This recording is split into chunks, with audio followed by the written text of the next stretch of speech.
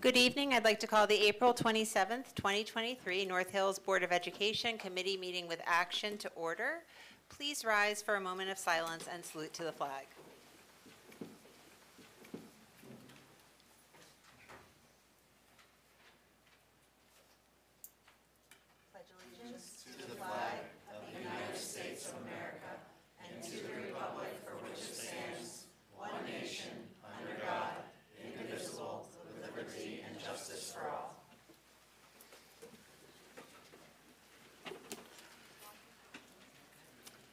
Good evening again, everybody. Uh, This morning, we're going to begin, or this evening, we're going to begin with a very special performance. So I'd like to introduce Mr. Sean Clunan and the North Hills Singers. Probably should have had you just stay standing because we're going to begin with the national anthem.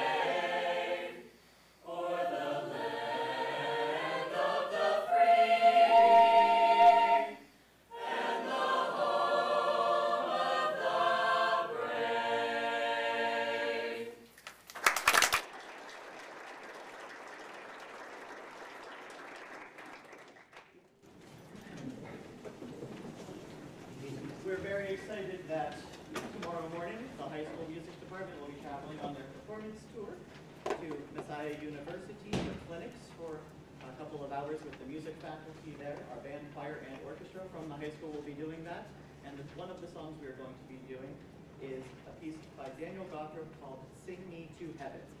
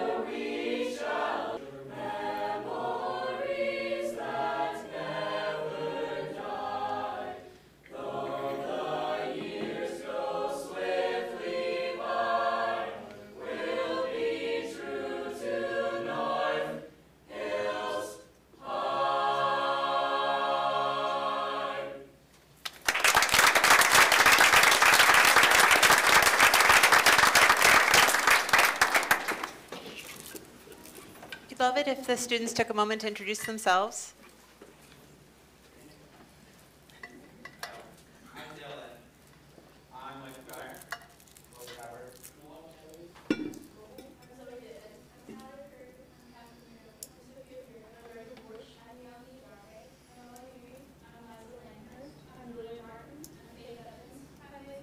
I'm Paul Redmond. I'm Ryan Griffin.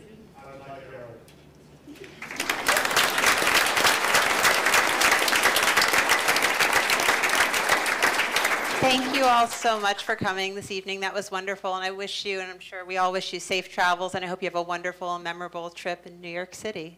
Thank you so much for coming tonight. What musical are you going to be seeing? Uh, some people are going to see Wicked and some people are seeing Aladdin. We couldn't all fit in the same theater. Over 300 of us. Thank you so much. Thanks for coming.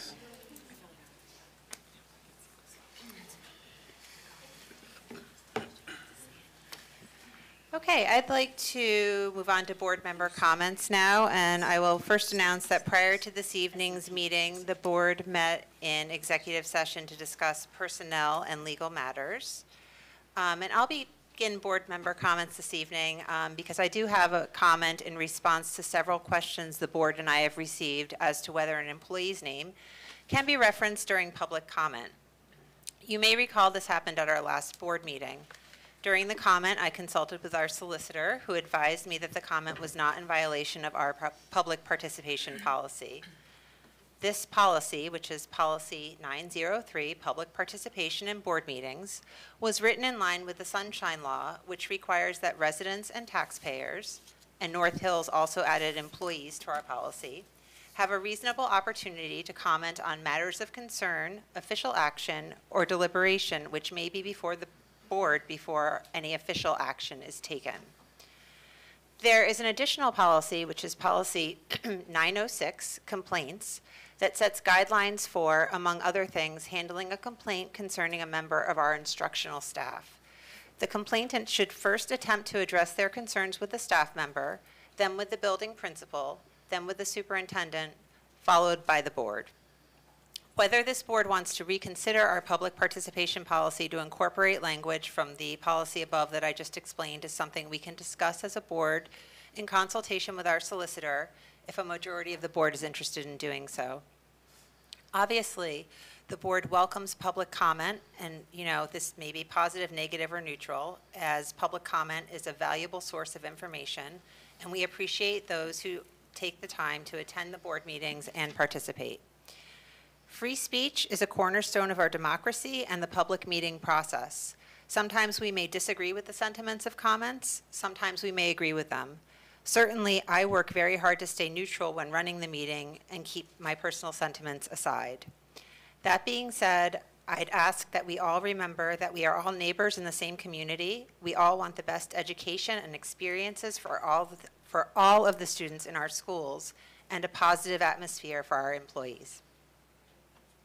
Are there any other board member comments this evening? Yeah, um, last meeting, I mentioned that the PSBA has asked us to put their legislative platform on our agenda for April, May, or June, um, to talk about if we, uh, just to discuss their legislative platform, if anyone has any feedback on it. Um, We would need to um, have any changes that we would want submitted to them by June 30th. So I'm just wondering if anybody has thought about whether or not they would like to have that as an agenda item so that we can discuss the legislative platform.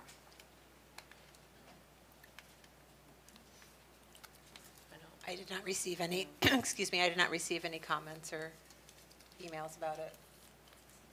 I guess I, I- I will just, just chime into saying, as the function of being the legislative liaison, if someone has something, I guess it makes sense to channel it through, um, and then bring it through, I guess. I'm just kind of spitballing here, but it seems like it makes sense.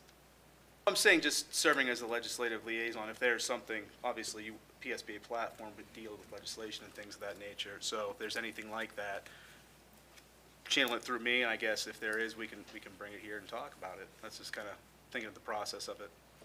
Yeah, that's fine with me. I just, yeah, I mean, the PSB asked us to put it on our agenda, so I just wanted to see if we were going to do that. Um, Yeah.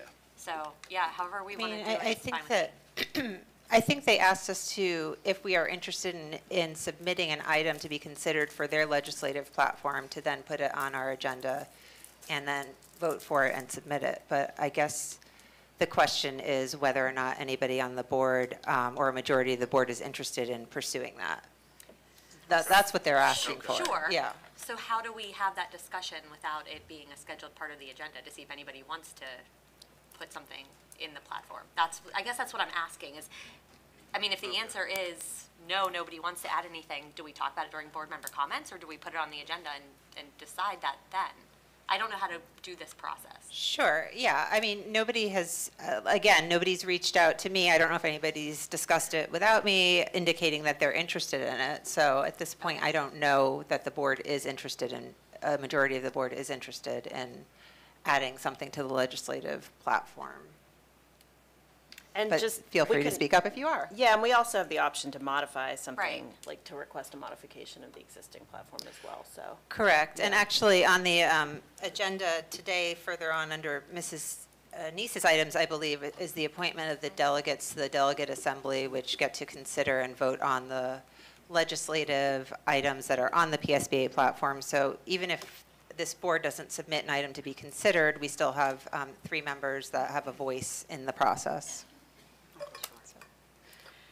I'm sort of, I'm neutral on it, so whatever everybody else wants to do, it's fine. Doesn't matter to me. Okay. Um, Are there any other board member comments? Madam President, I just have something. Yes.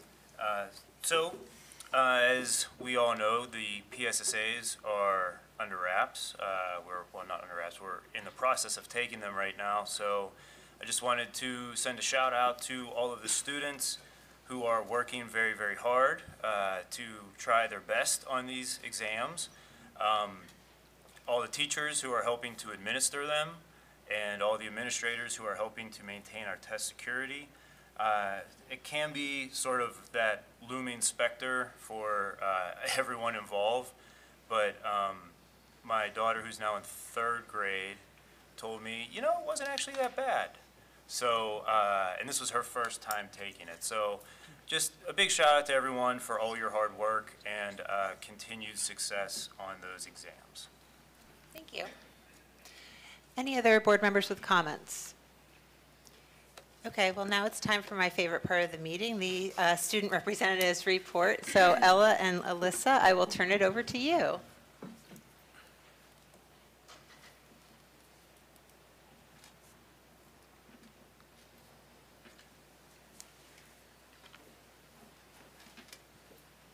Good evening, everyone. It's been a while since we've done a report, but we certainly have some updates for you.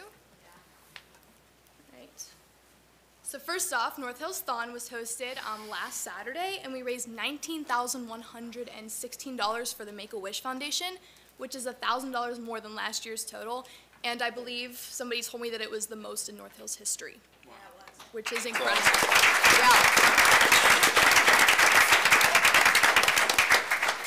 Um, it was moved to the middle school this year um, as opposed to Martorelli, but that didn't stop anybody from having the time of their lives. I've heard fantastic things from the community and the kids, um, especially for Community Thon when we have a couple like sports representatives teach the kids about um, their sports, and a bunch of the food was a hit too. Um, so Score for Future, um, a new competition this spring was sponsored by the Pittsburgh Penguins, and myself, along with three of my friends, um, Leah, Ava, and Abby, um, participated in it. Um, and we first toured um, PPG Paints Arena, and then we toured Evoqua Water Technologies, which helps filter like um, dirty water to purify it and recycle it. Um, so we were supposed to make a solution, a sustainable solution um, that would help PPG modify their arena um, to make it more sustainable for their fans and for their arena, obviously. Um, so we presented our project last week, and we titled it Berg to Berg, as in Pittsburgh to Iceberg. Um, and it was based around um, a sustainable fountain in which they would reuse the ice um, off the rink and put it into the fountain. We unfortunately did not win that competition. Um, I know, but if you ask any of us, we will tell you that it is alive and well and that PPG will be putting a fountain in the arena. But unfortunately, that's actually not true though. Don't actually take that to us. But anyways, we were really proud of the effort that we put into it and about our project. And so even though we did not win, that was still a fantastic experience to have. And to present it in front of um, a whole panel of judges and in front of other schools that we competed with um, was really something. So along that line as well, um, for AP Environmental Science, um, each student was um, tasked with doing an independent research project.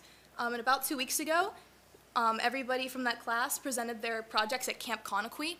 Um, and there were a bunch of middle schools and high schools that also took up that task as well. And that's in collaboration with Creek Connections, that's run by Allegheny College.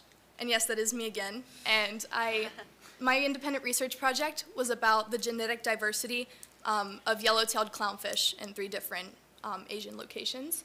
Um, but we also had people um, go through like pH levels of water and what happens if you try and grow plant with salt water, and also about like what's the best disposable wipes to use, like in the toilet.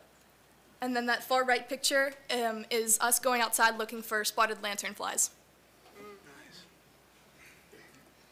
So prom. Prom is also coming up. Um, I believe it's in two weeks. Um, Saturday, May 13th, it's going to be at Acrisure Stadium again, but they chose a different location um, in Acrisure Stadium, and I hear that that was the right choice um, based on the feedback I got from other people last year.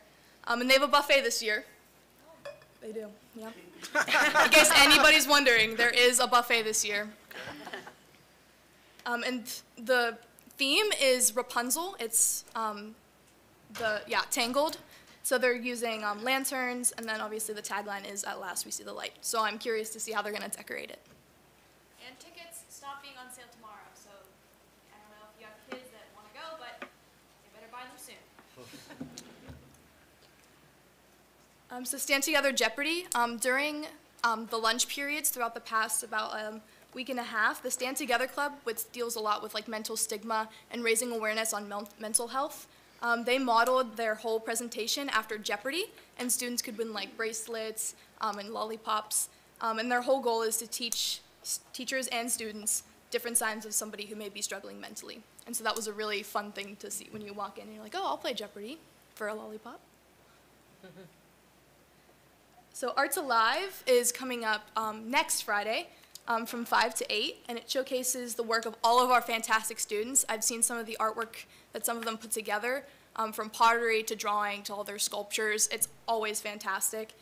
Um, and there are some music department performances. I know orchestra had a small group um, sign up for it, and they'll be presenting some of the pieces that they play. It'll just be like five of them. You also have culinary options from the World Language Department, so that's French, Spanish, German, um, and Latin. Uh, there'll also be other beverages um, served by the North Hills um, Brew Crew, and also a game fest showcasing games created by um, North Hills students. Okay. Um, one sport that I wanted to talk about because I'm on the team is track. And so last Friday we had a big Butler Invitational. It was insane. We got there at 9:15 a.m. and didn't leave until 9 p.m. But we had some really great finishes. In the hurdles, Gama took second and third in the 300 and 110 respectively. And Caden Leitner took fifth place in the 800 meter dash, as well as the boys 4x8 relay team took fifth place, and that's Daniel Satariano, Caden Leitner, Charles Vega, and Logan Baxter. And we're heading into our invite season, which is basically when we're trying to get our times down to qualify for WPIALs, which is on May 17th. And there are a lot of students really on track to qualify, like Riley Franz and Lily Hilligus in the 800 meter for the girls, Caden in the 400 meter and the 800 meter for the boys, and Gama in the 110 hurdles and the 300 hurdles, as well as our boys 4x400 and 4x800 relay teams. And that's really impressive to go, so it should be a really great year. Best communities for music education, North Hills for the ninth year in a row, which is really awesome that the community is recognizing how unique our band program is and how special we are with the opportunities we have here. The Wind Ensemble went to All East, and this was April 13th and 14th, and it was really, really cool. We got to perform at the NAFME All Eastern Convention, so basically our band and one other high school band were chosen as the model of all the bands in the entire Northeast to play for all the band directors, and they got to all hear us. And we also went to Niagara Falls the next day, and that's a picture of me and my friend at Niagara Falls. And it was really cool just being with the whole entire band at the top of Niagara Falls, because that's not something that most people can say they did. So that's us. It was a really good time. All State Band and Orchestra was this past weekend, and we had eight students go, which is really impressive. Elaine on the horn, Valerio on the viola, Logan on trumpet, Josh on trombone, Paige on the flute, Trevor on trumpet, Gabby on bassoon, and Tyler on the clarinet. And it was a really great time from what I've heard. Okay, New York City Music Department tour. We're leaving tomorrow. I actually just came from marching band rehearsal. So tomorrow, the marching band and all of our concert bands and the orchestra and the choir are all going to be having clinics with the instructors at Messiah University. And then on April 29th and 30th, we're going up to New York City.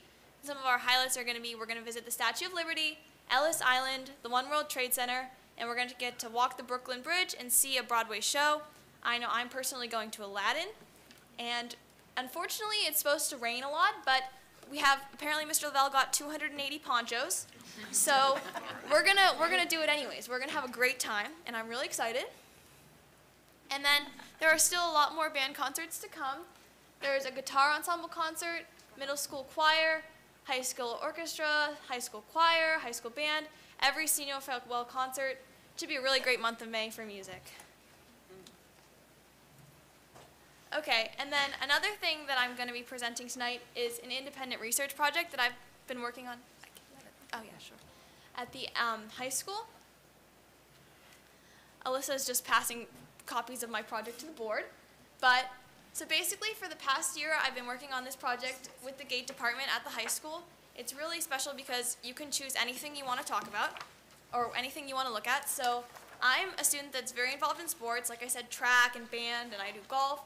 And I noticed that my involvement was really impactful on my mental health, especially during COVID when everyone was so isolated. Having a sports team was really important to me. And so I wanted to see if other North Hills students felt the same way as me.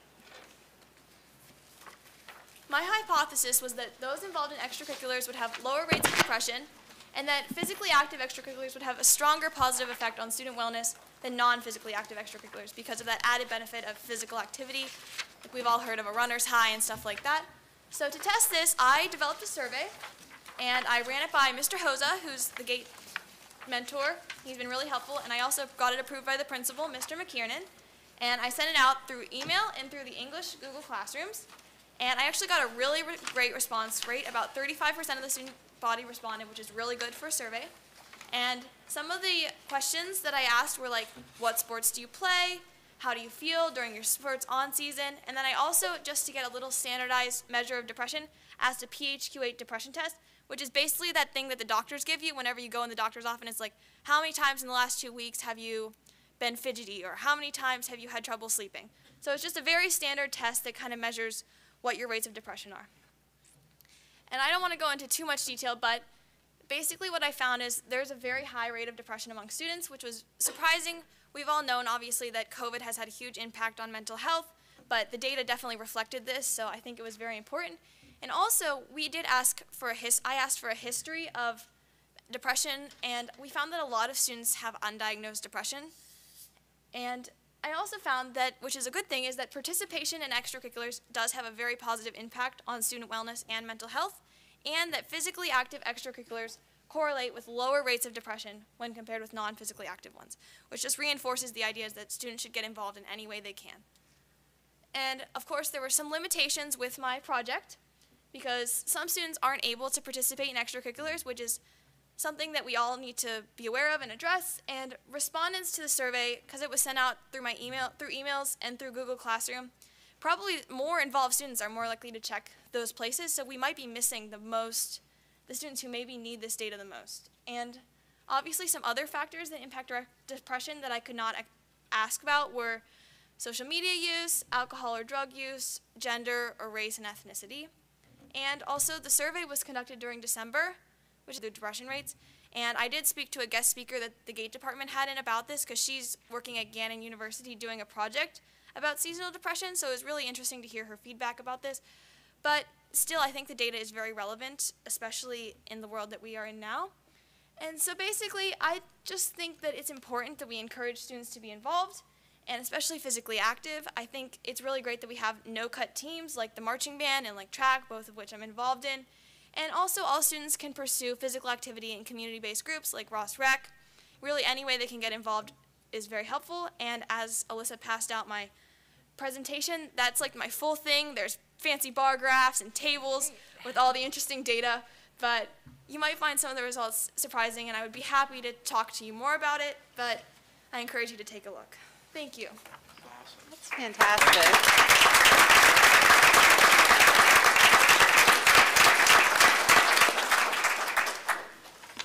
Girls, before you sit down, I would like to personally thank you for your report. It is always informative, and it's right up to the last minute, and we really appreciate that. And also, Ella Demois, I would like to congratulate you on having an 800 on your math SATs. Wow. Great job.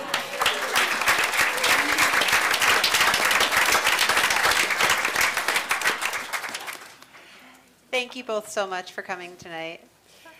Um, We don't have anybody signed up for public comments on agenda items, so next, we will vote on the next group of items which were discussed um, last week as a consent. So the superintendent recommends, and I so move, that the board approve consent items 1 through 24. D. Spade, I'll second that. Any discussion on any of those items?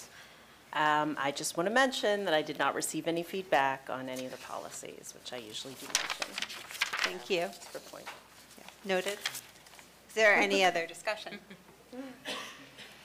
Okay, all in favor? Aye. Opposed? Motion carries. Uh, Next this evening, I believe we have a presentation um, from SitelogIQ with an update on the Westview Elementary renovation. Maybe. Hi. Surprise. Good evening, everyone. Uh, Thank you for having me tonight. I'm uh, Shane Kelly with SitelogIQ. I'm the project manager on the Westview Elementary construction project. I'm just going to give you a brief update this evening on our activities thus far in the project, where we stand, and what is expected in the near future. So to begin, I'm going to go over a few uh, architectural floor plans just to give you an idea of where we're working at in the building at this time. Uh, For those of you who do not know, we're ultimately going to be touching every, you know, square foot of this building, uh, but we have this phased throughout the next, you know, year and a half to two years. So to start, as you can see, uh, I'm going to begin on the ground floor where we're actively working. The areas in red uh, are where we're currently at. Those are considered Phase 2A and 2B. Uh, Some of the activities have been, that have been ongoing in those spaces are uh, excavation, foundations, structural steel. Again, right now, it's uh, in a phase down there where we've broken apart uh, bits and pieces of the area we're working in and are beginning to structurally put it back together uh, in accordance with the new design. Uh, Jumping up to the first floor, uh, Again, we've got that area in red. That is pr- the primarily the addition space uh, of the building that some of you have already seen, you know, the uh, renderings of it. That's really the part of the building that pops and uh, is really going to look great when it's all said and done. So that area in red, again, that's where we're working uh, in currently. I've got some photos of, of ongoing activities uh, in that area. Not to confuse anyone, there is an area on there that is uh, a yellow-orange. That is also part of 2A and 2B, but is inside the building, and we are currently not working in there. Uh, We'll be taking over that space after this uh, school semester, so this summer we'll take that over uh, and be in that area until December. Uh, So just to backtrack a little bit, uh, Phase 2A and 2B, that is the uh, addition space as well as some interior renovations. That area will be running from uh, January when we got in there, uh, January of '23 to December of '23 is when it will be turned back over, turned back over to the school district.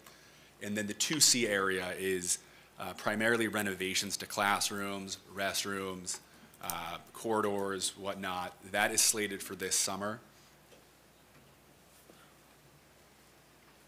And then finally, this is the top floor of the building. Uh, We are not in any of these areas at this point in time. Uh, We've started some investigation, removing uh, ceiling tile, and with the approval of the administration, have uh, taken down some cable traying in the blue areas.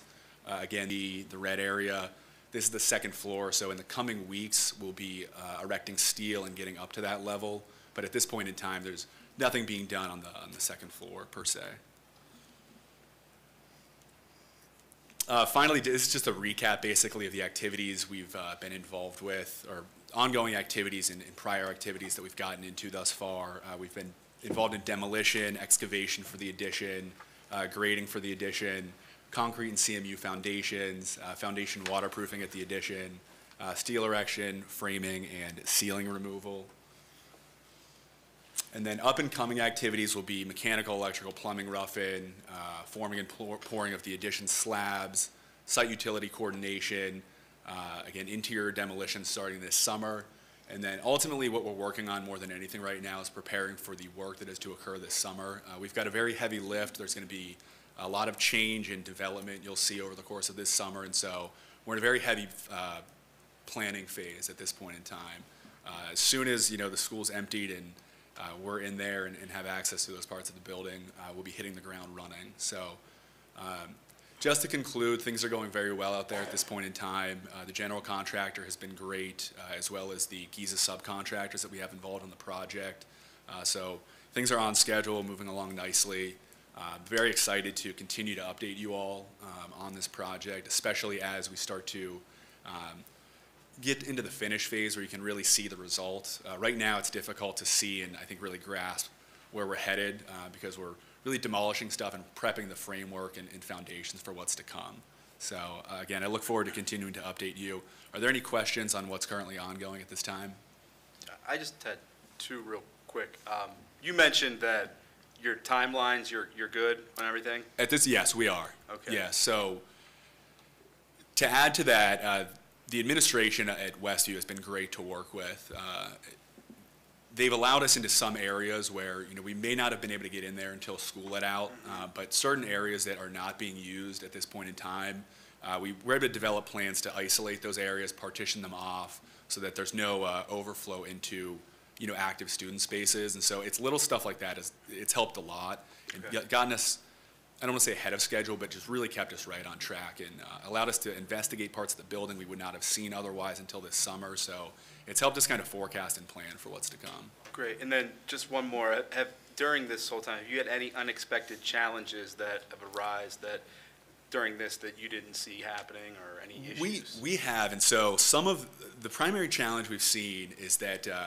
you know, we're going into a, a very old building, and we're taking it apart and going into places that, um, you know, we tried to do as much investigation as possible, but again, it's been built on, the building, it seems, has been built on top, parts and pieces of it have basically been stacked, it's been built on top of itself. So as we're demolishing stuff and, and getting deeper into it and able to rip things apart, we're seeing things might be built and construct, have been constructed a little differently than we anticipated. So that's been a challenge, and in fact, um, somewhere where that's, would have been an even bigger challenge is on the, I'm gonna jump back for a second, just to kind of illustrate this. So this red area, right here, this is where the new stair tower is gonna be running up through the center of the school. And Uh, It's a huge structural component to the building that we're basically demolishing and rebuilding. And so there were some unforeseens in that space uh, as we started to rip it apart and see how this was built back in. I believe that's the 1925 portion of the building. So it was built a long, long time ago. And so there were areas of that, the way that was constructed was not how we initially uh, anticipated. And because we were able to get in there several months earlier than we thought, it really gave us a window of time and um, a, a significant amount of time to kind of assess that and come up with a plan to move forward with that, rather than it causing a delay or an issue.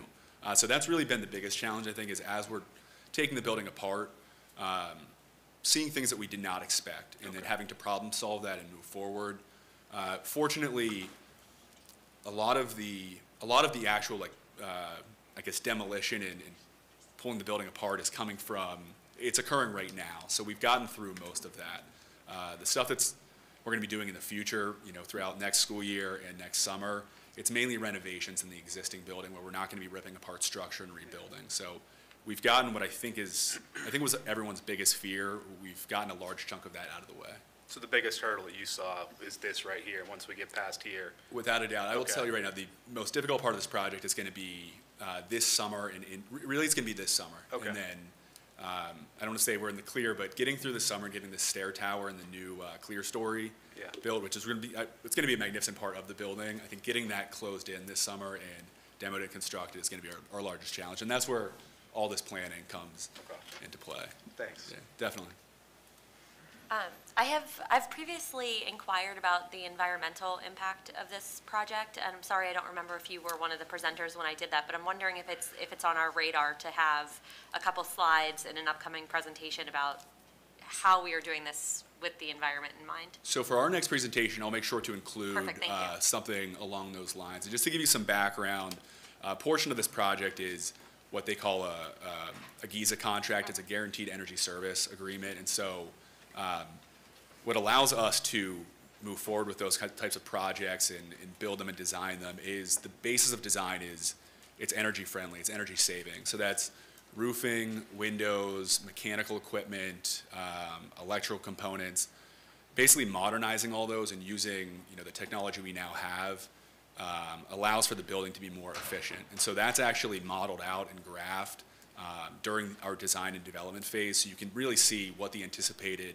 savings is of this building um, with these upgrades and changes. And then uh, another really cool component of the building is the addition is actually going to have a green roof on it. Um, so it will be, you know, planter, irrigated planters, and aesthetically, it's going to be great, but uh, that's, again, a green component to the building. Um, So yeah, we're excited to see that come, come together as well. But Thank moving forward, I'll, I'll make sure to include a, a portion for, uh, again, just energy components Yeah. on these presentations, Thank you. definitely. Any other questions? Thank you so much. We really appreciate you. Thank you all, appreciate it, have a good night. Thank you.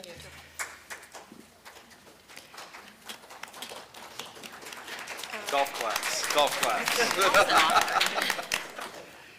Well, you should have saved your applause because I am about to introduce Mr. Jerry Muth, who is going to be talking about the proposed final budget. Perfect time. Jerry? closer score, they Yeah.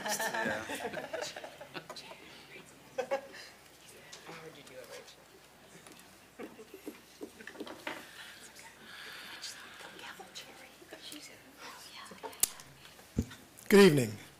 The last time we met, um, two weeks ago, and if anybody participated in the Public Budget Committee meeting, as well as the Finance Committee meeting, and throughout the budget season, my primary objective was trying to get us to a point where we had a balanced budget without affecting the tax rate.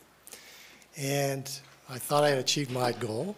Um, We were in balance as of about a week ago. But upon further review, from my perspective, I'm not sure I was giving the best options for us moving forward next year and into the future by just aiming to just balance without, uh, making sure everything was, we were comprehensively looking at everything. So the one element that was not in this proposed budget previously, up until this past few days, is historically, we have made a contribution or a transfer to the Capital Projects Fund annually in an effort to uh, build up that balance for unanticipated projects as well as certain projects that we want to uh, do in the near or distant future. So the budget that I'm presenting to you tonight actually is $500,000 higher than it was a week ago and does include a tax increase of 0.92% or 0.18 mils. Um, So the projected tax rate would go from 19.7 mils to 19.88. The Again, the proposed tax increase would be used for the capital projects fund transfer. We did have the ability to raise the taxes up to the index of 4.8% or 0.95 mils, and had we done that, that would have raised uh, 2.8 million. Just to sidetrack temporarily, uh, the impact of that tax increase is shown for various levels of assessed property values. I went by 50,000 increments, but I did slide in there what was the median assessed value based on the homestead exemptions last year of 136,600. Um, The maximum annual increase on a $300,000 home would be $54. The maximum increase on a $100,000 home would be 18 and would fall in between there. And then the monthly increases range from $1.50 a month to approximately $4.50. Again, that's not to trivialize any tax increase. If you know me, I cannot stand raising taxes personally. Anybody raises my taxes doesn't make me happy, so I completely understand if you're in the position that you're not thrilled with that either. But I do think it's necessary um, from, again, from a- not only a short-term but a long-term opportunity to raise the taxes if you can in a reasonable manner with justification. Um, And we did discuss throughout the budgeting season that we do have uh, fund balances sitting around, and it's often a question as to why don't we tap into the fund balance rather than raise taxes? The parameters that we look at is the board policy, which sets a minimum that we are trying to attempt to, at a minimum, keep a fund balance of 4% of total expenditures. In the proposed budget, we would sit at 5%. The upper level, which PDE establishes, is 8%. Above that, if you had a fund balance, you would not be able to raise taxes at that point. So that takes care of why I think we'd be in a strong position currently with our unassigned fund balance at 5%. It's a good spot to be in. And we do have one uh, assigned fund balance that's relating to the Pennsylvania State Employee Retirement System that has been accumulating for several years, and we have used pieces of it, but it does remain. And the question arises this coming school year, the contribution rate is actually going down for the first time in probably 15 to 20 years. We did not elect, or I'm suggesting, not to use that this current year because although we're going to have a reduction for 23, 24, it is anticipated that the rate again is going to go up in succeeding years. Had we unassigned that portion and added it to the 4.8 million that is sitting there, our fund, unassigned fund balance would still be within the 4 to 8% range. It would actually be at 6.96%. So I'm not suggesting at this point in time that we would use any of the assigned fund balances for balancing the budget. Additionally, there are a few assumptions that are embedded in the 23-24 budget um, that if they don't come to fruition, we would have to use the fund balance to compensate for. The primary example is in the governor's proposed budget, both the basic education subsidy and the special education subsidy are proposed to increase.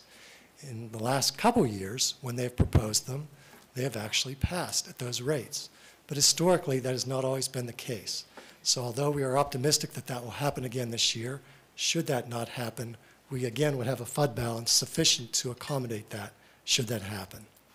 The other argument out there as far as um, making sure we maintain a good fund balance is we do anticipate uh, borrowing funding for the Westview renovations project. And anybody that looks at our financial position right now, and specifically at our fund balance, would conclude that we are in a very strong position and thus a more likely strong candidate uh, when we go and pursue funding. Finally, we are looking beyond 23-24 to succeeding years. And among the issues that may arise that challenge our budget is in the 23-24 budget, we are currently enjoying a favorable interest rate as it relates to our uh, cash balances throughout the year. As you may already recognize, taxes are collected in the first part of the year up through October primarily. Um, So we have our biggest cash balances in the earliest parts of the year. we are anticipating the market from an interest rate standpoint to be relatively favorable that, up until that time, um, although there are predictions that the interest rates are going to eventually start to decrease again. So our budget for 23-24 is balanced, including this tax increase, based on a very favorable level of interest income. We do not, we do not foresee that happening or perpetuating into the future, so we will have to make up that difference moving forward. Other things that are on the horizon is we have three collective bargaining agreements that will come under negotiations in consecutive years, starting with the 24-25 school year with the NHEA contract, the following year the SEIU contract, and then the year after that the support services contract. We also have um, health care benefits that continue to rise, and at least currently, we're in a very inflationary market. So with those variables in mind, that's kind of why we concluded, uh, I've concluded, um, to propose a modest tax increase for the next school year, and then um, that's where we sit at this point in time. So if there's any questions, I'd be happy to take them at this time.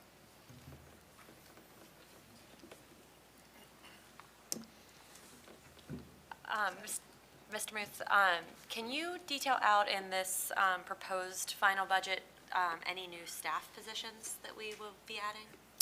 Yes, contrary to what I have said publicly previously, um, in addition to one uh, position that's being added for enrollment in the fifth grade at McIntyre Elementary, I believe there's also a position in the high school, um, which will be referenced in the board president's statement momentarily.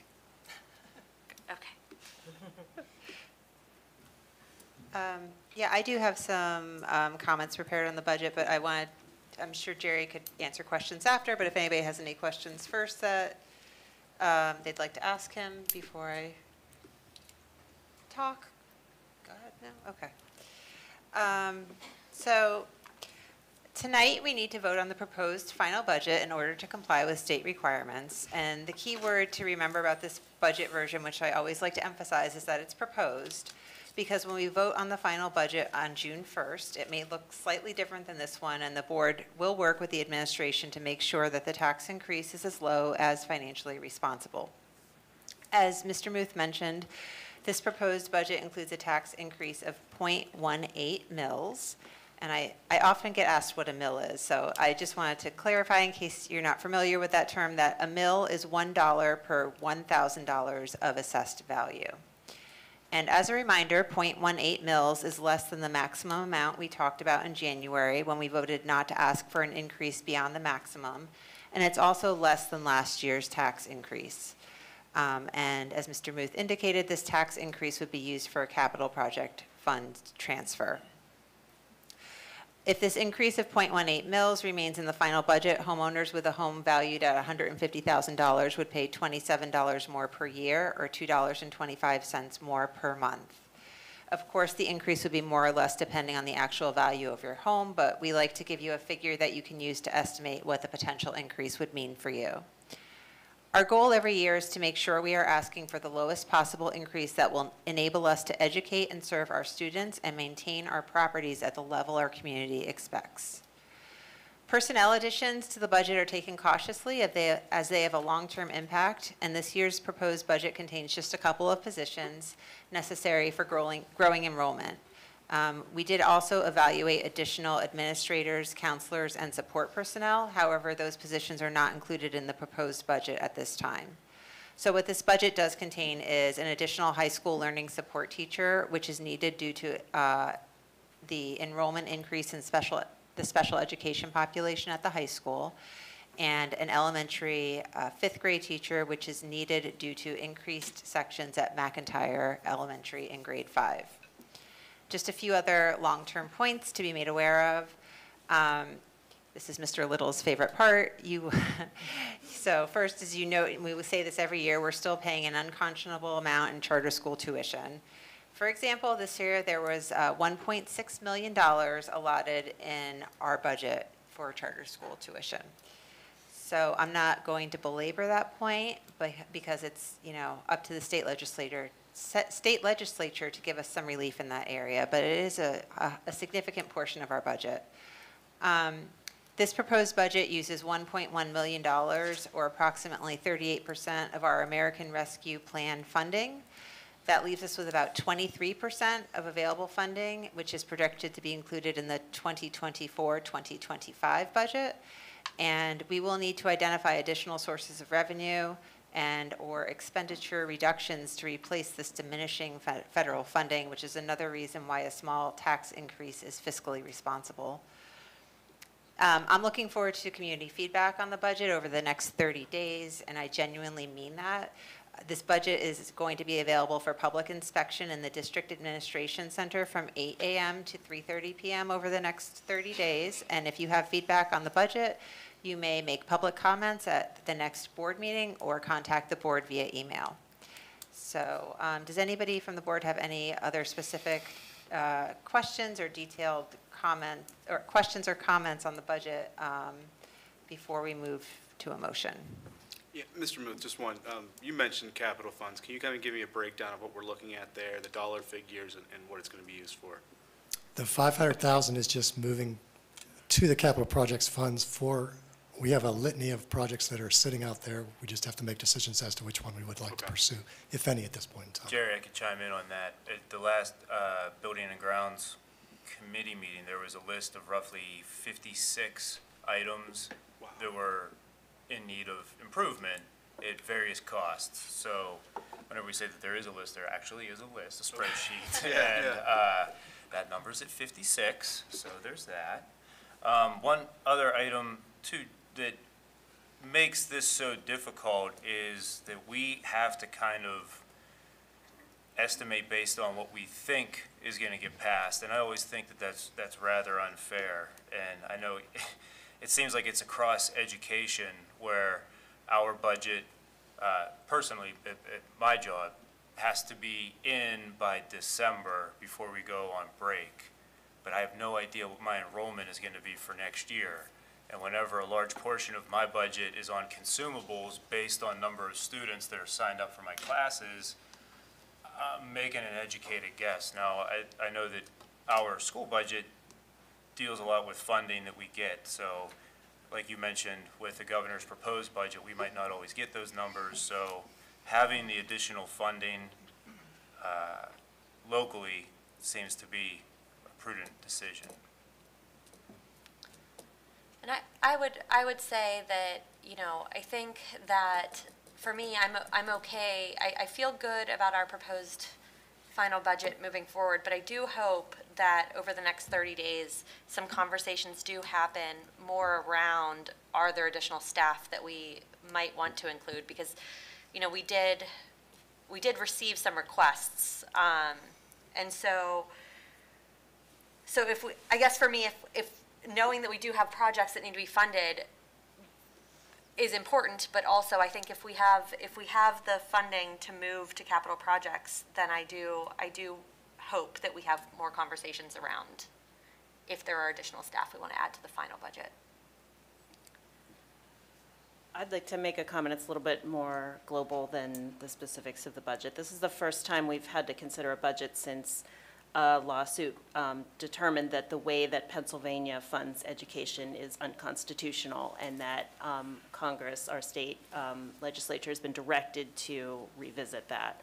Um, To the extent that, and, and also I wanted to note that last year, of the 500 school districts in Pennsylvania, 490 of them raised taxes um, to the extent that there is, uh, I mean, I, you know, don't like raising taxes. um, When I consider the impact on, on fixed income houses, but um, I, you know, I I very much support education. I hope that our um, state legislature considers that as well and, um, you know, helps us support education um, at a larger global level um, so that we're not in this position where we, this is our only recourse, really. I mean, we don't have any other way to get the funds that we need to continue to deal with raising costs associated with education. Yes, good point.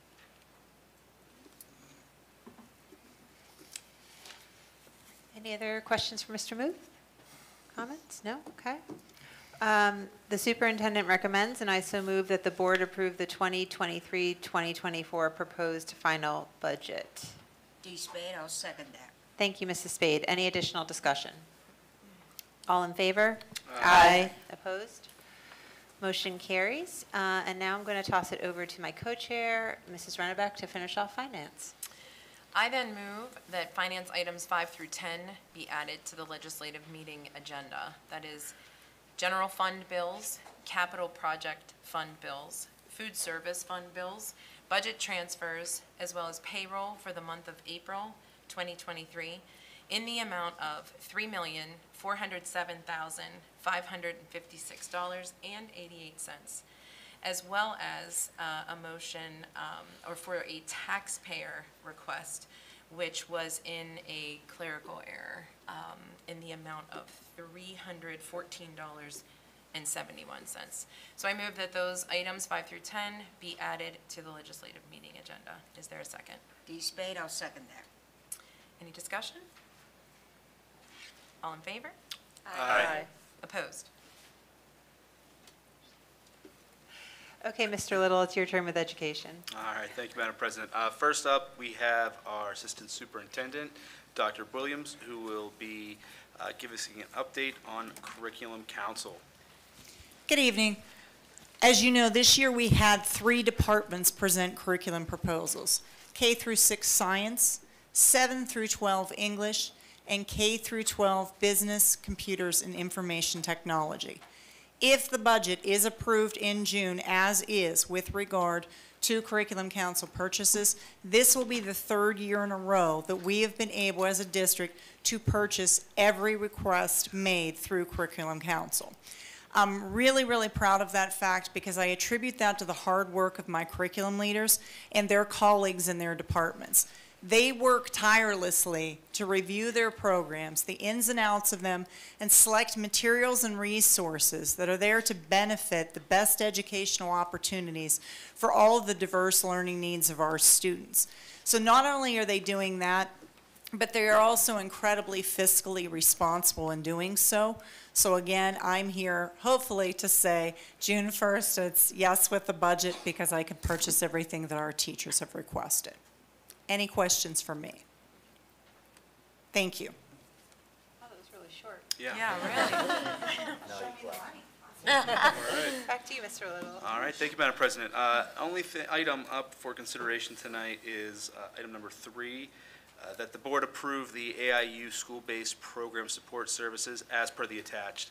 Uh, This agreement will be effective upon its approval and shall remain in effect until June 30, 2024. I move that item number three, under education, be added to the legislative meeting agenda. D. Spade, I'll second that. Any discussion? Okay, all in favor? Aye. Opposed? All right, motion carries. Uh, Mrs. Poniatowski, you are up next with athletics and activities. We just have one item under athletics and activities, and it's for the music department for a trip, um, not the New York City trip tomorrow. But a year from now, um, a department trip to um, tour Virginia Beach and Williamsburg, and this will be for the marching band, concert band, symphonic band, wind symphony, wind ensemble, jazz band, um, symphonic choir, the North Hill Singers, orchestra, chamber orchestra, um, are all invited on this tour, so it's a big one. Um, and that will be April 11th through 14th of 2024. Um, and the students will miss two days of school, and like all of the music um, department field trips, they will fundraise all the money for the trip. Um, the only cost to the district is for the substitute teachers for those two days. Um, so I move that item two, under athletics and activities, be added to the legislative meeting agenda. And I will second that. Um, I just want to say I I appreciate the music department giving us this information in advance before the fundraising started this year. And um, um, just thank you to the music department for that. Any other discussion? Um, Okay, all in favor? Aye. Opposed? Motion carries. Mr. Santucci, do you have anything under buildings and grounds? Uh, Yes, I just had one item. Uh, At our last meeting, we had a, a large showing for, of community members that spoke uh, in regards to the creation of a multi-purpose field area up here at the hilltop. Um, So coming up at our May 11th meeting, uh, we do have an architect who's coming to uh, give us some potential ideas as to what our area up here at the hilltop could look like. Uh, uh, So this does not in any way, shape, or form mean that we are going to pursue that, but that we are actually looking into pursuing that, if that makes sense. Uh, So I just wanted to acknowledge that. I know that there was a gentleman here earlier, Mr. Muth, I know he, you might have recognized him. He came straight from the hospital to go to the public budget meeting the last time because he felt so passionate about it. I wish he was still here to, uh, at least hear that we heard their concerns and we heard their, uh, their visions and we are looking into it. And that's all. Thank you very much. Mrs. Neese, it's your turn for Community and Intergovernmental Relations. All right, so the PSBA Delegate Assembly is scheduled for Saturday, November 4th, 2023, and will be a hybrid event. Um, North Hills may appoint up to three individuals to attend the assembly. Uh, Some relevant facts, the appointed delegates will have the option to attend the event in person or virtually. The in-person gatherings will be held at the PSBA headquarters in Mechanicsburg. Due to space, only 120 people can go in person. Uh, Board members wishing to participate should state their interest in being nominated. The board will vote to appoint at the May 11th, 2023 legislative meeting, and we must submit our certification of voting delegates to PSBA no later than Friday, August 25th, 2023. So I move that item two, under Community and Intergovernmental Relations, be added to the legislative meeting agenda. And I think- will second that. I, do we need to discuss who those delegates would be? I Yes. would like to be a delegate, if Um, that's. Yeah, I, I am not, I actually am one of the chairs of the delegate assembly, so I'm not able to be a delegate. Um, But as we mentioned earlier during Ms. Philpott's comments, um, you know, we do get three delegates um, for North Hills, which is more than some other school districts get, um, which gives us an opportunity to um, contribute to the legislative platform. So I think it's a really important service, and I hope that we can get three of us that are interested in doing it. Um, I just want to say, I, I did it already, so I want to make sure someone else has another opportunity to do it, so. I would do it again. I'm Okay, so looking, we- I've done it before as well. I'm happy Yeah. to do it if, um, if nobody else wants to, but same as Mr. Little. Mm-hmm. So, nobody else is interested, we can speak amongst ourselves. I, I would like to. No, be I a mean, delegate. I mean, Yeah. Phil and I can I'm speak gonna- amongst ourselves. Oh, if- Yeah, I, I want to give someone else an opportunity, like, You guys yeah, can have a cage match. Yeah, I think we should, Yeah. right here. right, Yeah, let's do right it. here. Okay, Um, okay. so, okay. So what are we actually moving forward then to the legislative meeting agenda? I- Well, I think the intent was for you to decide who you want to, um, who who wants Who- to who show the three people interest. are. Oh, so we And need to then to it move now. their names forward so you could vote to elect them. Okay, so we have Ms. You're Philpott the is senior interested. member, you do it. Mrs. Neese is interested. I'll do it. And apparently Ms. Kozera just got uh, nominated by Mr. Little, so, okay. Okay, uh, so we already have a motion and we had some discussion. Any other discussion? All in favor? Aye. Opposed? Motion carries. Thank you for volunteering to serve. Ms. Kozera, you're up with policy now. Or Thanks. Policies. policies. Um, As Mrs. Mathis mentioned earlier, if there are, if any board members want to talk about the public participation policy, I'm happy to um, have that conversation. Um, I have two policies um, today. Um, The first one, thanks to um, Ms. Philpott for this, um, she's updated um, Policy 118 for homes, um, homeschooling po- policy with revisions um, that reflect the amendments um, of the omnibus school code from recently. And in conjunction with that, we are proposing to retire policy um, 237, parent involvement, because it is duplicative of policy 918. So right now, they more or less have exactly the same information in them, so upon review, we determine we don't need um, 237 anymore. Um, So with that said, I move that items two and three under policy be added to the legislative meeting agenda. D. Spade, I'll second that. Thank you, Mrs. Spade. Any discussion? I just had one question. Ms. Kozera, you said 237 is duplicative of 918, is that correct? Yes. Okay. Is that not I, I was just wondering, I just Yeah. wanted to think not it's- have the it's number. one- Yeah, that's right. 118. One eighteen? It's, well, it's one eighteen is being updated, but nine eighteen is Oh. title, so it's just, That's the one I was talking, yeah, okay, yeah, Okay. yeah. thanks, So there's two eighteens involved in this. okay. The Two different ones. Gotcha. Yeah.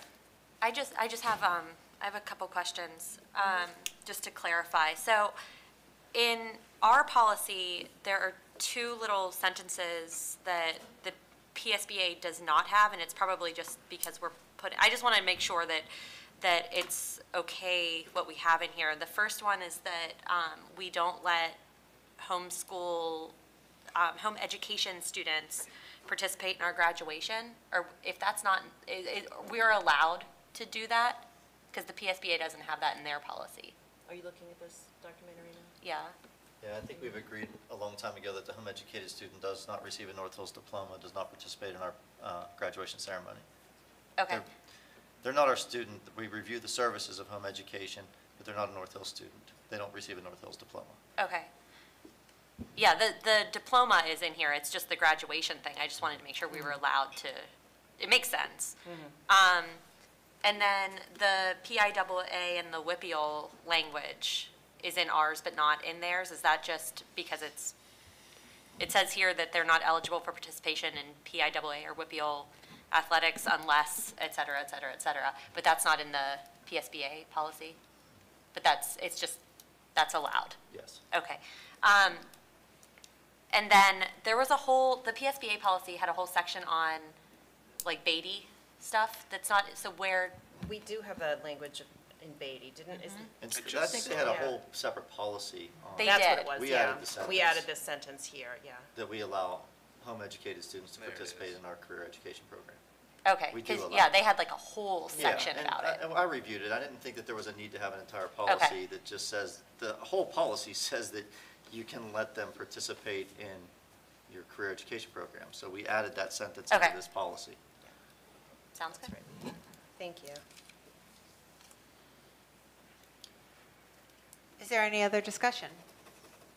Okay, all in favor? Aye. Opposed? Motion carries. Thank you, Ms. Kozera. Ms. Philpott, you're up with Health and Wellness. Do you have anything this evening? Yeah, I'll just give um, two updates. I feel like we've been talking about this for a year now, um, but I have, Mr. Muth is, is going to look into the, um, the status on getting a middle school dishwasher. Oh. It still has not been installed, um, so we're going to find out what's going on with that, because we were supposed to start using reusable trays and whatnot. Um, and then, um, Mrs. Radskin is also looking into a grant opportunity right now that would be, um, districts can get up to hundred and fifty thousand dollars for like nutrition education, starting to cook from scratch, et cetera. Um, it's for small and rural districts, and the small cutoff is, um, five thousand students, so we just make it. Um, so she's looking into, into that, so that would be a pretty big grant for us if we would apply and get it. That's great. Mhm. What- May I ask, um, since we've been talking about it for s- a while, what, what the situation with the dishwasher is? Is it a supply chain issue or? I apologize, I haven't had that conversation Oh, okay. recently, so Okay. uh, for all I know, it could be there. All I'm right. not sure yet. Mrs. Spade, it's your turn with personnel. Thank you. You're welcome. Personnel items are discussed in executive session. The superintendent recommends, and I so move that the board approve personnel items one through three. Mike Santucci, I'll second that. All in favor? Aye. Aye. Opposed? Okay, motion carries. Um, Next up, we have AW Beatty Career Center and Ms., Mrs. Rennebeck or Mrs. Spade. Do you have anything you want to say? Uh, the only thing I'd like to say, at the last meeting, I did hear some interesting, uh, information. They're gonna have some classes at Beatty that they don't need a classroom for. And, um, what they're gonna use them with is the, um, EMS and nursing training, and they're go, what do you call them things? The drone? The drone. They're teach, they're gonna teach the kids, how- they're gonna teach the kids how to use the drones, and they showed us on film how they used them to find somebody that was hurt in the woods. This was all pretend. And the drone flew over, located the person, and the EMS and the right people were able to go to them, find them very easily, and have them removed to a safer position. And I think it's just wonderful how they just keep moving forward with technology and anything they can for our kids of Beatty. It's a wonderful place. All yours. Indeed. Oh, thank you. Um, it's so important to mention, and Ms. Pellet, do we have pictures that we can show while I'm sort of going through this? So eight AW Beatty students, including st- two students from North Hills, took home four state championships at the Pennsylvania Skills USA competition Nice. that was held in Hershey. We were waiting on bated breath to find out who the winners were a week ago. So pretty cool. Um, the Career Pathways Showcase team of Mila Burnett, Nick Schultz, and Primrose Sobek, who presented here, if you all recall, um, you know, to show what our logos were going to look like. They're the students who designed the branding package and fonts for our district at the March 2nd board meeting. Um, so it's, you know, congratulations to all. So many different schools were represented. Additionally, North Hill senior Riley Welsh placed third in the baking and pastry arts at the same competition. First place winners who qualify for nationals, excuse me, in Career Pathways Showcase Arts and Communications Team. Um, again, Nick Schultz, shout out. And um, for, I just want to make sure, Career Pathways Showcase Industrial and Engineering Technology Team, Austin Kessler. And second place, no, I'm sorry, third place was Riley Welsh. So congratulations to all of them. Also want to make mention that um, there is still room, most of the summer classes are actually filled at this point, but the HVAC fixers, automotive mania, and construction worker summer camps are still available and registration is still up. That's happening from June 12th to the 15th. And that's, of course, for students entering grades six through nine in the fall. So make sure you visit their website uh, for more information on registering. Um, In addition, I have a motion to add the um, Beatty items to the legislative meeting agenda. Um, So it's that the board approve the 2023-24 operating budget for AW Beatty Career Center per the attached. The AW Beatty operating budget billing is based on a five-year average of the average daily membership on March 30, on March 1st, as verified by the member districts. The member districts are the primary source of funding support for AW Beatty Career Center operating budget, and it is in the amount of $1,333,961. So, Ally, I'll do this again. Um, I move that item number two under AW Beatty Career Center be added to the legislative meeting agenda. Go ahead. Is there a second? I will second that. Any discussion? All in favor? Aye. Aye. Opposed? Motion carries. Okay, we have a lot of people signed up for public comments on non-agenda items. Um, So I'm going to go ahead and read our public participation policy. The board recognizes the value to school governance of public comment on educational issues and the importance of involving members of the public in board meetings. The board also recognizes its responsibility for proper governance of the district and the need to conduct its business in an orderly and efficient manner. We would like to invite any resident taxpayer or employee of the North Hills School District who wishes to address the board to come forward at this time. It is our policy to strongly encourage such public participation in as much as it provides the board with an important source of ideas, as well as informs us of many concerns in the district. The board has limited public comment by a participant to three minutes in duration, and no participant may speak more than once per meeting on the same topic. And I'm going to ask Mr. Witherall, do the participants need to state their address? They do not. Uh, Okay. Only confirm that they're a resident taxpayer or employee of the district. Okay, so when you go up to speak, if you could just confirm that you are a resident taxpayer or employee, I will go in order. And first, we have Vicky Trushin.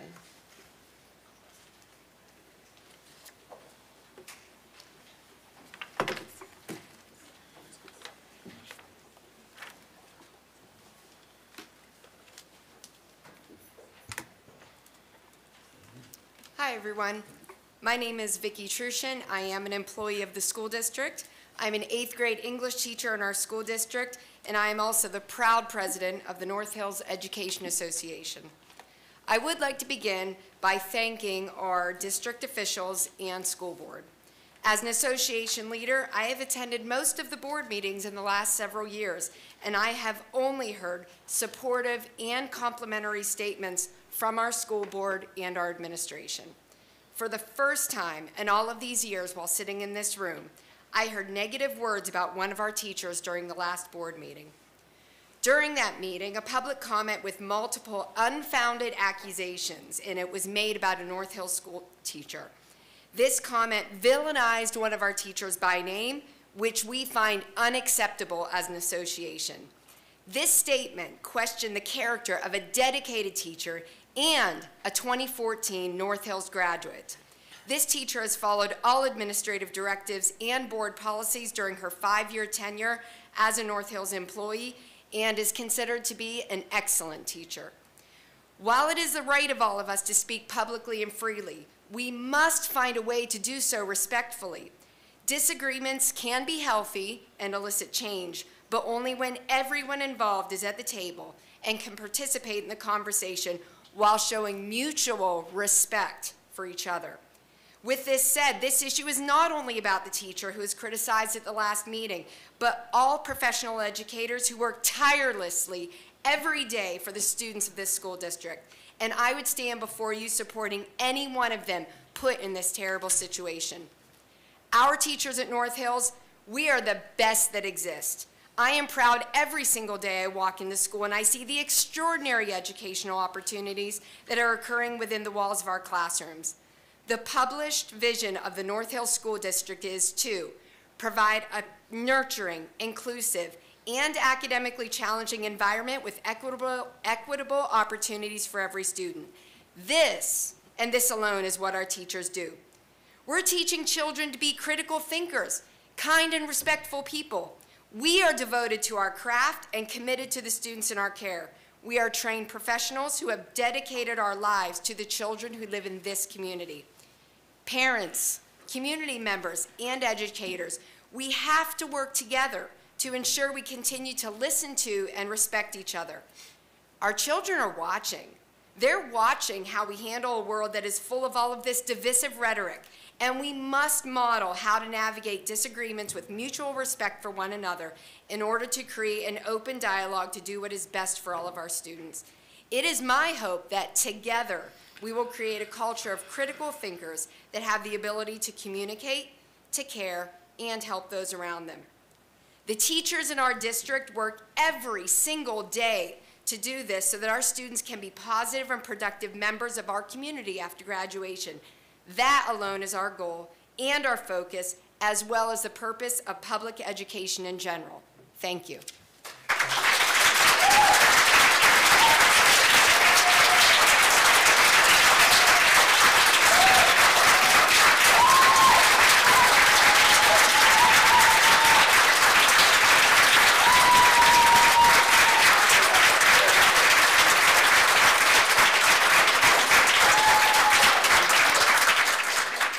Tiffany Broderick.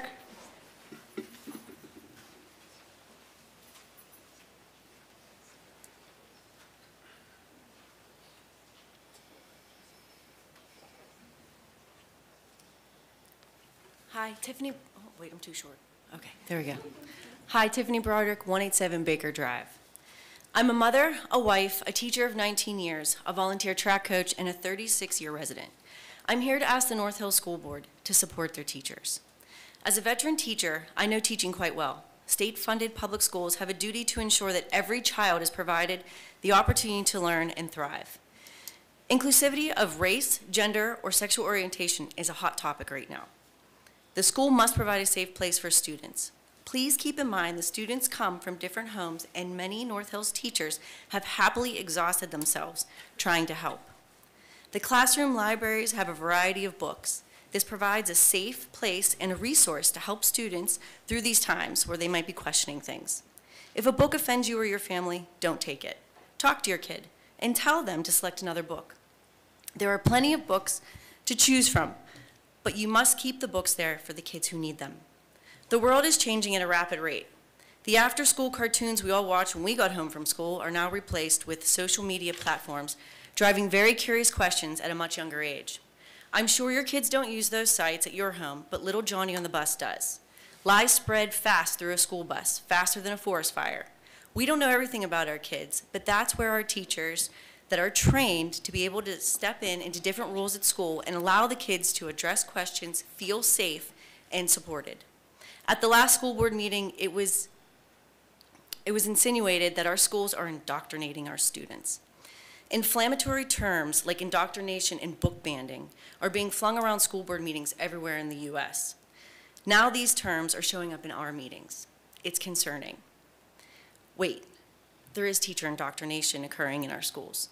The indoctrination that math is amazing, reading rocks, kindness matters, and bullies never win. That's the best type of indoctrination. Way to go, teachers. Just recently, Governor Shapiro honored a teacher. The board had an opportunity to show the state what a wonderful, inclusive, safe place North Hills School District is.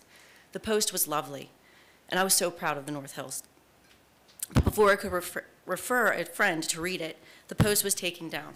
Instead of honoring that teacher, you caved. You caved and you gave in to an angry, disgruntled resident. You gave in. You threw her to the wolves. None of you spoke up or even silenced the microphone, even when a parent said her name four times. Throwing her name out there where residents use words of perversion and defamation to make irrational comments. This teacher was painted as a villain. She is not. Her fun, high energy, caring, accepting, interactive classroom, which has only sparked maybe some energy in some veteran teachers, is a special thing. North Hill School Board, I ask you to support your teachers. Know you did the best in hiring the best. Trust that your teachers are there to uplift, empower, and teach these students. Your teachers do not need another critic right now. They need your support. Thank you.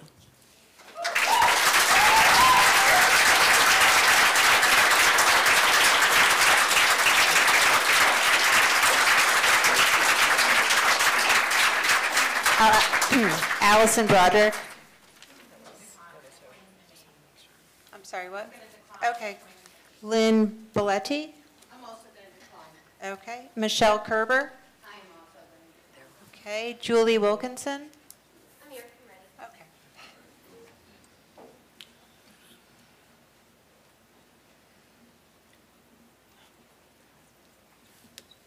Perfect height for me. Tiffany Broderick, perfect height. So I'm Julie Wilkinson. I am a resident and I am a parent of a, a, student who is in that teacher's classroom. So I just want to echo what others have said about showing kindness and respect towards one another. It's one thing to have critique and criticism and disagreements, but to put someone's name on blast is inappropriate, it's not productive, and it can can create almost a dangerous situation for that individual, the students, and that school. So we just need to be better to have a respectful platform where we can have disagreements, we can have those discussions, and you'll have more people willing to listen when you're going for the concern and not the person. I also would like to share my narrative about a parent in that classroom, and it is just amazing. Like, I wish I was a student there. Not only does that teacher implement strategies that are research-based for educational strategies like differentiating instruction, she does scaffolding techniques and approaches. She uses the curriculum provided by the district along with the standards provided by the state, but she makes it fun and engaging. There's a book tasting party. We're having some slam poetry going on.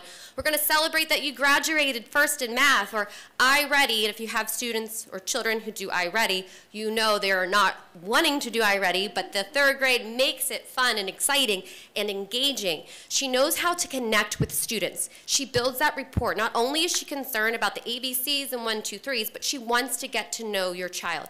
She wants to know their interests. She wants to know what do they struggle with and how can she help them find coping mechanisms. She wants to teach them how to be critical thinkers in a world where you want information just like that. She pushes them to think outside the box and how to cooperate with one another and work with one another and accept somebody who is different than you. I could go on and on and on about all the amazing things about this teacher, but I went to the source, my child. And I asked my child, if you could describe that teacher in three words or phrases, just what would you say, just out of curiosity? She told me, well, I cannot do three because I have way too many things to say, but I guess I'll just give you five. So here are the fives from a student point of view. She's fun, funny. She said that considers one, even though I told her those are two words, but she said, nope, that's one. Kind hearted, makes learning fun, athletic. I think that's a little hats off to recess because she engages with her students. She's just not at recess watching. She is participating with them. And then she ended it with the best teacher ever. This teacher has had such a profound impact on my child that I want more teachers like this teacher. We could all learn from this teacher. And to that special teacher that's near and dear to my heart, continue to make the whole place shimmer.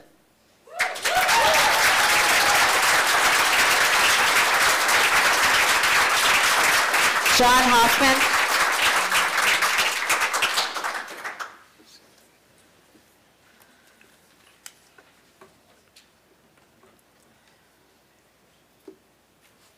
Yes, good evening. John Hoffman. I am a resident and a taxpayer of uh, North Hills. Uh, I'm going to change the topic a little bit, dealing with the field. Uh, last time I was here, I asked the board to consider uh, some additional items, including the environmental impact of uh, what is being considered. Um, I am actually, more of my position, I'm now against the field. Uh, upon some more consideration, I have found that the major leagues are moving towards natural turf, which we have right outside our door. Uh, the reason why they're doing that is injuries. Now, it was stated that the field has a few issues uh, where balls can jump up and uh, hit the kids, where there's a rim of dirt around the, uh, the baseline. That is a maintenance item that can be addressed by a plow. Also, there is a grate that's out there. Uh, yes, that is a hazard for kids who are running across the field. Uh, let's fix that. Let's get that out where, where it can be best used and grade the field so that it doesn't flood the way that it's reported to do. Um, also, I'll, I'll, restate, since we have a very good turnout this evening, uh, some of the items I discussed last week. Um, we have some neighbors in Sharpsburg who a number of years ago were flooded. Well, that flooding starts from all of our neighborhoods north. You know, there's the Girty's Run project, which many of us uh, are familiar with. That was a flood control project. If we cover this field with AstroTurf, a, uh, an oil-based product, where is all that water going to go? Well, probably the uh, obvious place is Girty's Run and then down to our neighbors in Sharpsburg. Uh, we need to consider that with whatever we decide to do. Thank you for your time.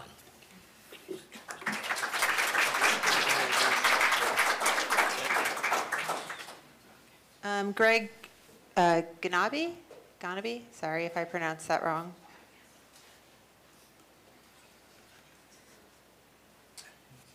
Thank you. Greg Ganabi. Uh, I live at 12 Schützen Park Road. I'm a North Hills taxpayer since uh, 1995. Um, I just wanted to, um, to carry forward here the, uh, the comments that have been made about this teacher. Um, I have a personal relationship with this teacher. She's my daughter-in-law. So I'm going to put that out there too. But um, I mean, I got pulled into this um, as I was reading some, some very disparaging comments on social media that were going on about her, and um, it was it, it, was appalling what was being said, um, and a lot of this stuff was being said with no basis in fact. It was um, very uh, libelous, uh, I guess would be a good way to put it. So, um, I mean, you guys uh, you, you, you made a good decision to hire her, right?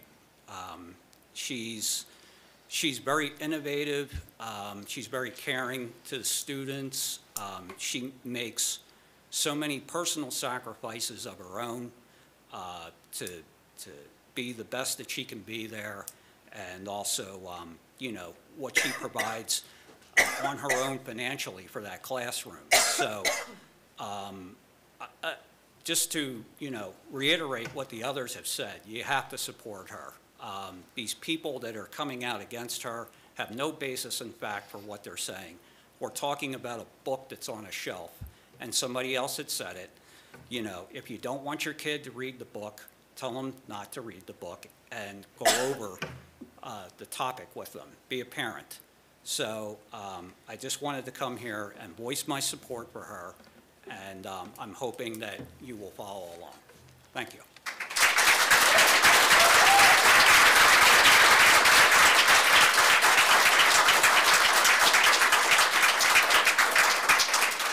Lindsay McCamish.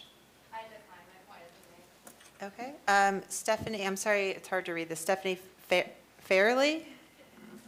Sorry if I mispronounced that.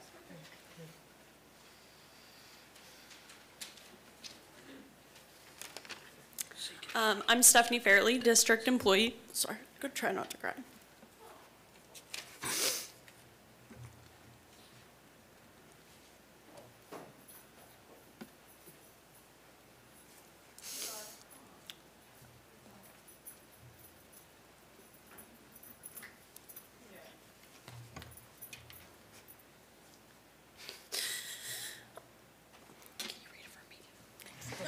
Sorry. Hi, my name is Stephanie Fairley. I'm a teacher in the district. In the last school board meeting, a teacher, a colleague, and most importantly, my friend was slandered. Now I'm gonna go. The accusations made against this teacher were false. The issue at hand are now being clouded by these false accusations and have caused a rift between so many people. This teacher's goal was to create inspiration, real talk, positivity, and to form a community of educators. I think we can all agree that this profession has no walk in the park. Most jobs are not. We not only have to worry about our own well-beings, but the well-beings of 20-plus small humans. There are hopes we have to jump through, or sorry, hoops we have to jump through. Boxes to be checked, I's to be dotted, T's to be crossed. None of us joined this profession if it was not for our passion. We genuinely want all of the students that we come across to have the brightest, best futures they possibly can. And this is no different for this teacher. Sorry, thank you. This teacher is truly a phenomenal educator. I wish I was half the educator she is. She prioritizes her students, their well-beings as a whole, their lives inside and out of the classroom, and their happiness. How many teachers do you know that attend their students' soccer games in their free time? How many teachers do you know spend countless hours outside of the school day turning their classroom into a pizza parlor or a carnival? How many teachers do you know that teach and practice not mindfulness to their students so their students have the tools to cope in this world where the mental health crisis is so overwhelming? Every student that walks into this teacher's room feels like they have a safe space, that they have a voice, that they are loved, and that they matter. Isn't that what we want for all of our kids? I know I would fight tooth and nail to have a teacher that cares that much. As a board, I challenge you to look to the students, parents, and families that have actually been involved in or affected by this teacher's classroom. Take with a grain of salt the naysayers who see a false accusation on Facebook and run away with claims that could not be farther from the truth. As a board, I'm asking you to support and have the back of one of, arguably, one of the best educators in this district. It would be an absolute disgrace to see this teacher pushed out because we could not support them when they needed it most. We should be screaming her name from the rooftops rather than trying to sweep her under the rug or delete posts that the district once bragged about. I'd like to praise this teacher for all of her continuous hard work, her dedication to her students, and creating a forum for teachers to learn, grow, and find inspiration. This profession is hard enough. We are beginning to see the teacher shortages across our nation. The last thing we need is the pressure of outsiders pushing us out. If we don't put down our foot here, what's to come next? Thank you. Thank you.